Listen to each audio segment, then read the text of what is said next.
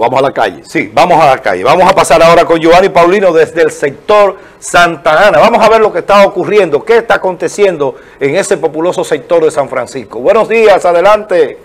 Adelante, Giovanni.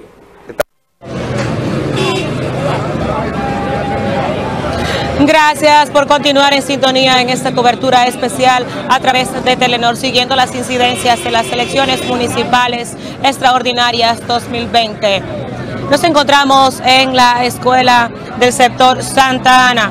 Vemos las imágenes donde gran cantidad de ciudadanos han acudido a ejercer su derecho al voto. Según las primeras eh, impresiones que hemos recogido en el lugar, todo transcurre con total normalidad. El proceso se desarrolla sin ningún tipo de contratiempo. Los delegados de los partidos, eh, algunos fuera, otros dentro del recinto, y tal como manifestaba y concurrido en el sector Vista al Valle y ahora aquí en el sector Santa Ana de este municipio de San Francisco de Macorís. Aquí hay algunos eh, dirigentes de las organizaciones políticas. Vamos a intentar conversar con ellos. Eh, muy buenos días. Tenemos a Brian Lee. Hasta esta hora de la mañana, ¿cómo va el proceso? Bueno, mira, el proceso dentro de lo normal ha sido poco incidentado, no ha tenido eh, incidentes mayores, pero sí hemos visto de parte del partido oficialista lo que son compra de votos, compra de cédula, eh, se han reunido en casa dando canastillas, o sea, han hecho una barbarie, están haciendo de, este proceso como si esto fuera no tengo palabras realmente, es, es, una condición nauseabunda lo que están haciendo por conseguir un poder que realmente no se merece. El pueblo hoy en día está decidido en un cambio y ese cambio aquí se va a representar.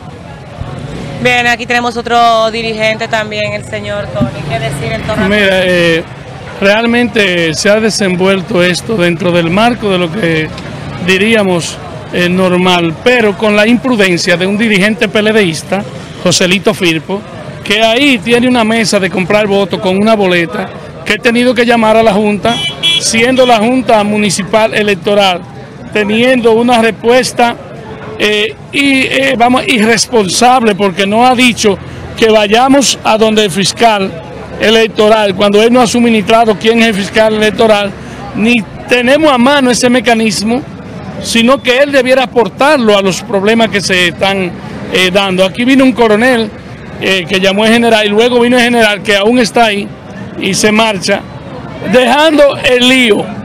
Entonces, ¿para qué es general?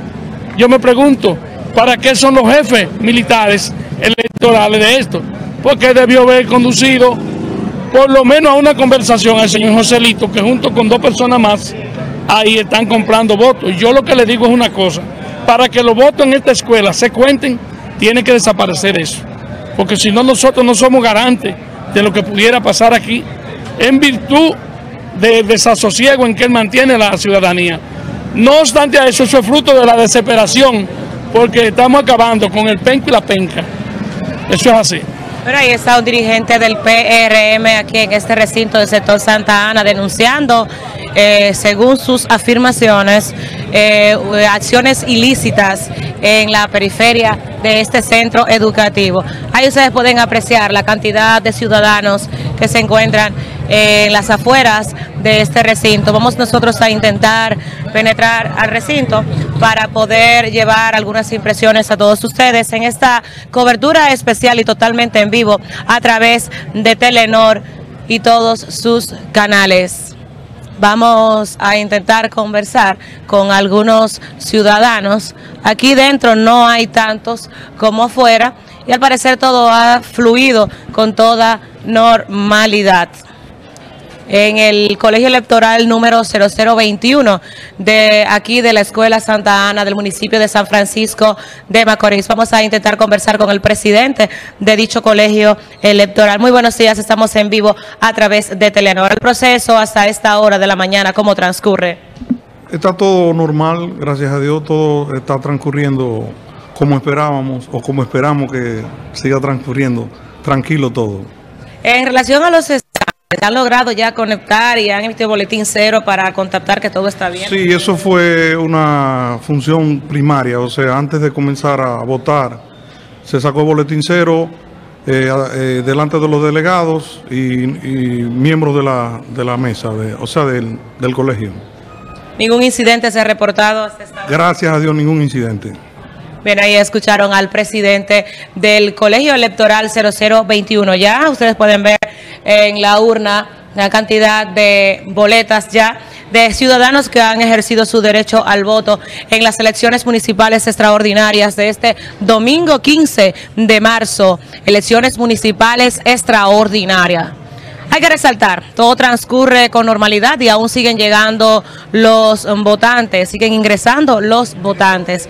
De incidentes solamente lo que denunció el dirigente del PRM, Brian Leak, sobre actos ilícitos en la periferia a la Junta sobre la situación y que también estuvo por aquí el general Alberto Ten. Mientras tanto, yo continúo llevando todas las incidencias, siguiendo paso a paso esta cobertura a través de Telenor. Gracias a Giovanni Paulino desde el sector Santa Ana que nos reporta cómo anda la situación y el desenvolvimiento de estas elecciones extraordinarias municipales 2020. Nosotros seguimos acá con esta cobertura especial hasta que esto termine. Toda la información, todo el conocimiento de cómo se han desarrollado estas elecciones, usted lo tendrá a través de Telenor, siempre al servicio de su gente. Bueno,